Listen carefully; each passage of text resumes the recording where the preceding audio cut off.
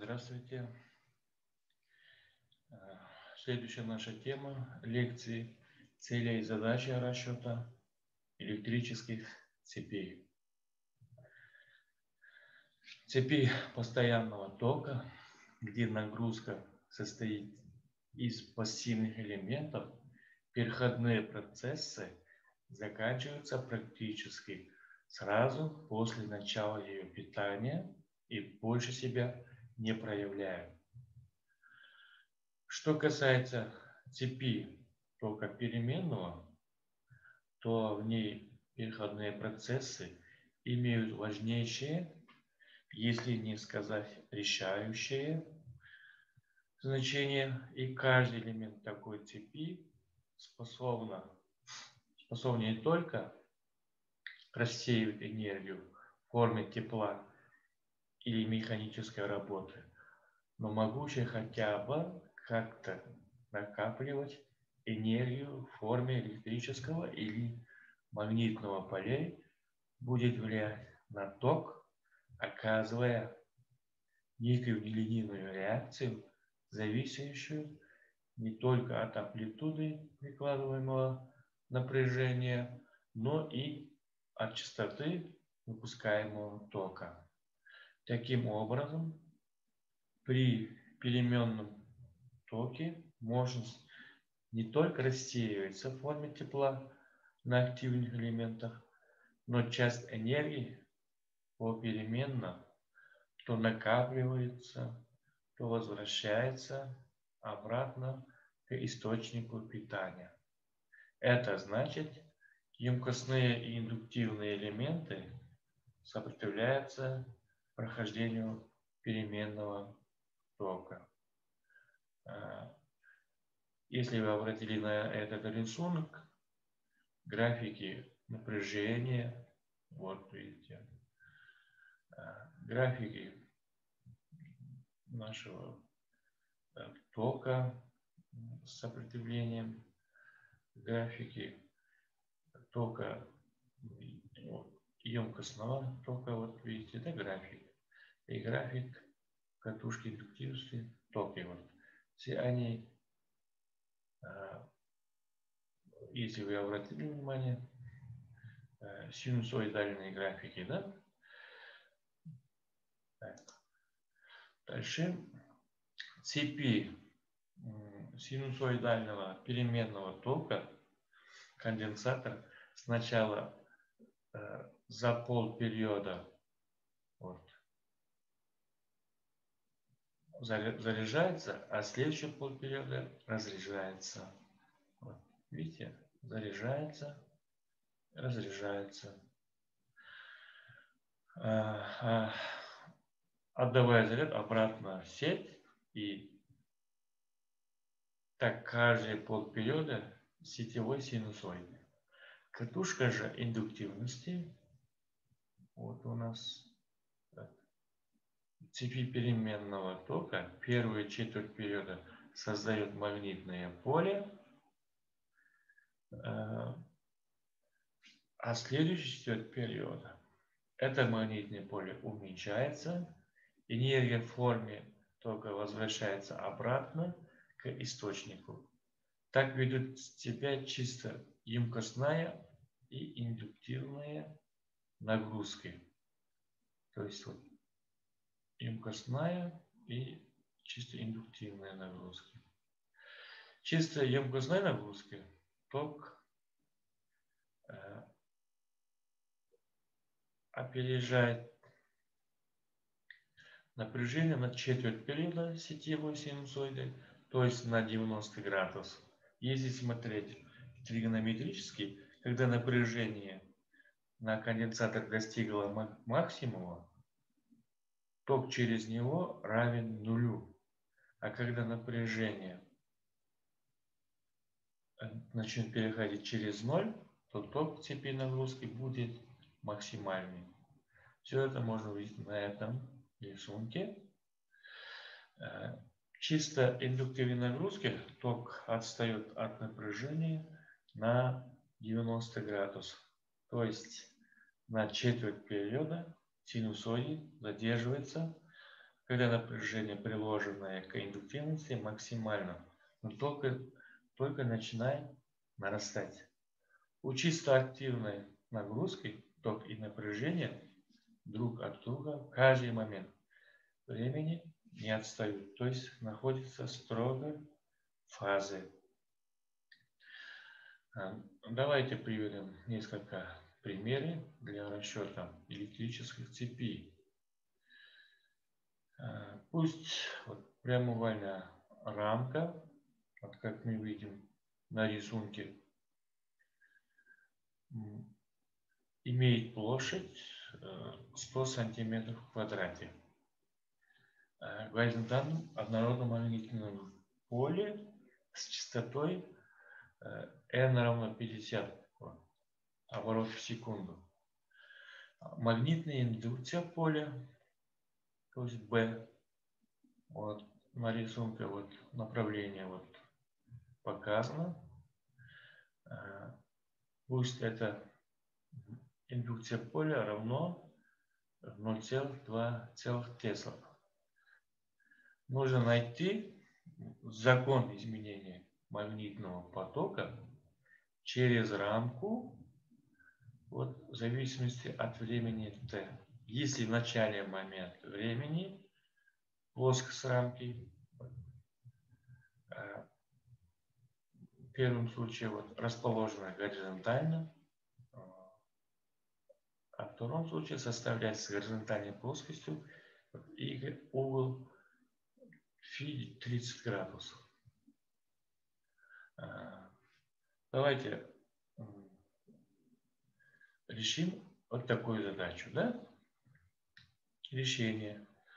А, до этого мы рассматривали вот синусоидальные законы. Мы знаем, а, как найти поток, да?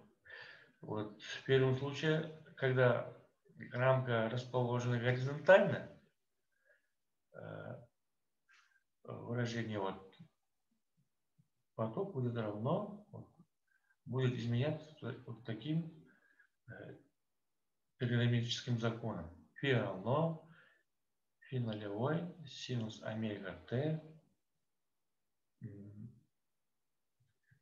то есть равно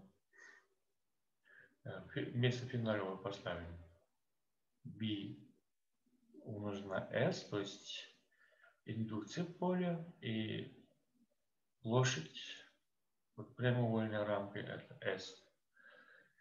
И вместо омега мы поставляем 2π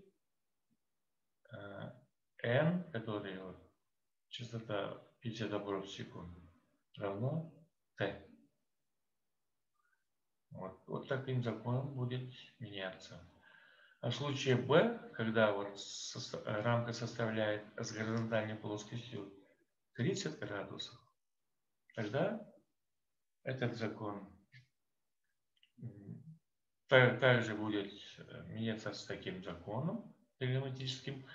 То есть фи равно пи нулевой синус омега т плюс фи. Это у нас начальная фаза. Да? Фи. Это у нас на втором случае, во первом случае равно 30 градусов. Э, значит, фи 0 умножено на синус омега t плюс 30 градусов. А фи нулевой у нас это равняется b э, на s. То есть это у нас дано э, если переведем на нулевой, это у нас 2 милливера. Отчет в начальной фазе фи производится от горизонтальной плоскости в сторону вращения рамки. Давайте рассмотрим вторую задачу. Это задача немного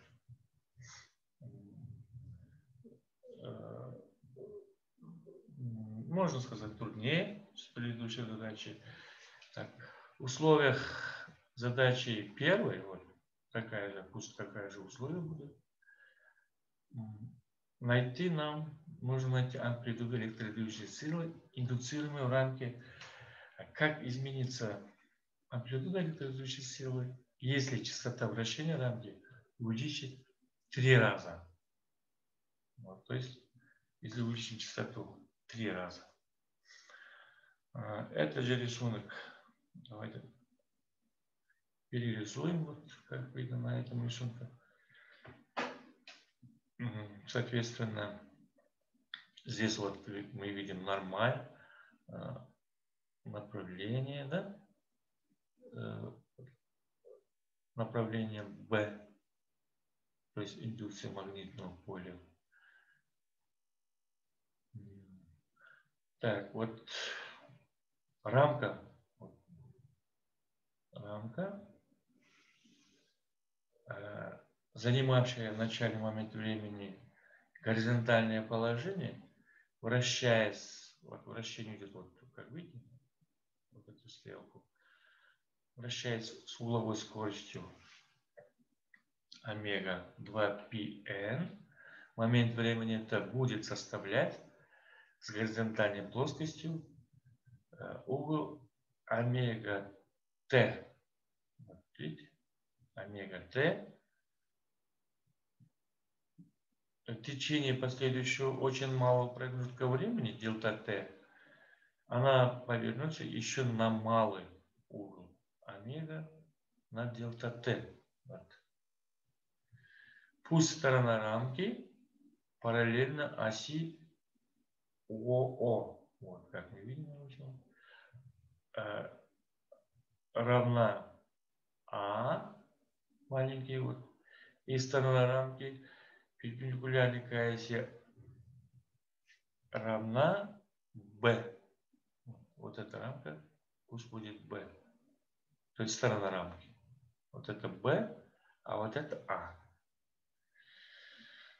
За время дельта Т проводник рамки CD, вот видите рисунки, C и D, маленький C, маленький D, вот, переместится в положение C D и э, заметет при этом площадь, площадь вот, дельта S, то есть мы, если вот, рамка у нас прямоугольная, поэтому Э, площадь этого прямоугольника дельта S, который заметен, мы можем написать вот в таком вот виде. То есть стороны умноженные, вот, э, а, э, а умножено на, здесь уже половина b будет, да, поделено на 2, умножен на омега дельта t. То есть это у нас дает площадь вот этого, вот, S и омега делена на 2. Вот переписали. Где вот S площадь, то есть А умножен на B. Площадь прямоугольного прямоугольной рамки. Магнитный поток через площадь, э, заметаемую проводником CD, вот магнитный поток, вот, выглядит, вот так будет выглядит в таком виде, в таком выражении. То есть дельта фи равно b на дельта s косинус альфа. Где вот альфа угол между нормалью n, э, n э, к плоскости c, c штрих, d штрих, d. Вот. И направление магнитной индукции. Видите? Угол между нормалью площади вот CC4 D4D и направление магнитной индукции B. Если промежуток времени дельта T очень мал, то угол практически равен углу омега T. Так как направление нормали n мало отличается от направления в стороне рамки когда. Вот если вы заметили, карта. Да? Вот нормаль и када. Ну, мало отличается. А вектор B по условию направлен горизонтально. Таким образом, э, вот это выражение мы можем переписать вот в таком виде. Дельта фи равно 1 вторая bs омега дельта t косинус омега t. Следовательно, в момент времени проводники СД индуцируется электродвижущаяся сила. И эпсилон равно дельта фи на дельта Т. Если подставляем значение э, выражение вот дельта фи, тогда вот дельта Т у нас сокращается, остается вот 1 вторая bs омега косинус омега Т. Вектор b направлен плоскостям, в которых при вращении рамки движутся проводники КД и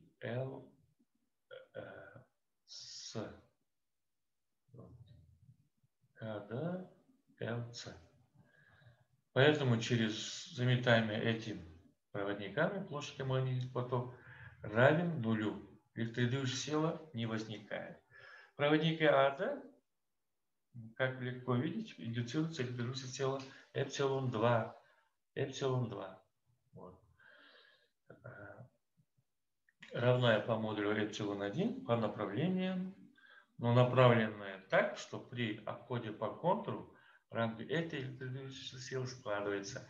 В результате сумма на электрическую силу индуцируемой рамки будет вот таким вот образом эпсилон равно, если они одинаково э, по модулю, то 2 эпсилон 1 это равно b s омега косинус омега. Наибольшее значение электродвижущей силы принимает в те моменты времени, когда косинус омега это максимален, то есть равен единице. Э, поэтому амплитуда электродвижущей силы эпсилон нулевой равно bs омега.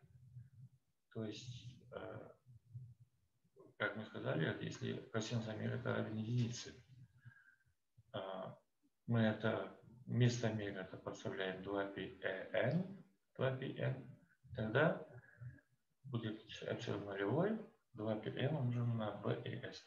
Подставляя числовые данные, мы получим 0,614 вольт при увеличении частоты вращения рампы три раза амплитуда электролюстика увеличится также три раза. То есть э, вот это значение мы умножим на 3, получается эпсилон множитель примерно равно 1,884 тысячных вольт. Давайте э, посмотрим следующую задачу. Вот напряжение на концах участка цепи, по которым течет перемена ток, изменяется с течением времени по закону. Вот, вот такой, то есть синусоидальное а, тригонометрическим законом, да, v равно v0, синус омега это плюс π делено на час, где φ, вот начальная фаза напряжения, равняется π деленное на 6. Это у нас 30 градусов. В момент времени t равным большой это равно 12, большой это у нас вперед. Мгновение значения напряжения V равно 10 вольт. Вот это мы все видим на графике. Вот. Поделено на 12 пусть вот это, а вот 10 вольт пусть будет здесь. Найти амплитуду напряжения в нулевой круговую частоту омега и частоту э, тока. Если период колебаний дано то есть 0,1 секунд. Э, Еще нужно представить графическую зависимость напряжения от времени. Мы уже график построили по данным. Вот. Круговая частота тока а, вот, омега равно 2 π деленное на t. Да? Если поставить числовые данные, то получится π у нас равно 3,14. Вместо того, если поставляем 0,1, Получится 628 секунд минус 1 степени. Частота тока – это обратно пропорциональный периоду тока. Да? Если подставляем следание, это будет 100 Гц. Момент времени t равно а, период делю на 12, мгновение значения напряжения выглядит вот. вот. дано у нас закон, мы знаем.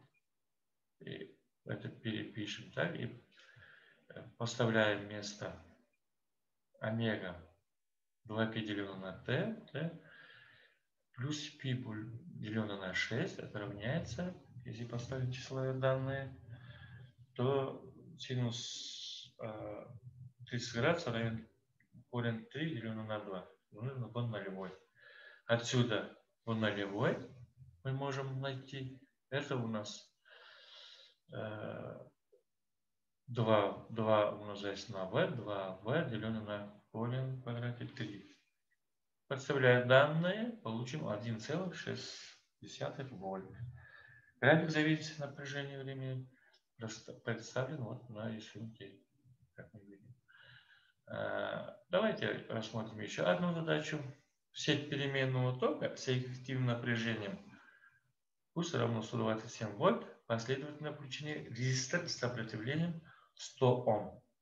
И конденсатор все пустил 40 микрофарада. Найти амплитуду тока цепи. Это простая задача по сравнению с предыдущими. То есть мы знаем ток, как изменяется, да, в предыдущих лекциях. Это э, напряжение, деленное на полное сопротивление Z. Да? И V0 у нас равно корень квадрата а напряжение, эффективное, эффективное напряжение делено на корень квадрата r квадрат плюс 1 делено на омега квадрат c квадрат. Подставить числовые данные, получим 1,4 ампера.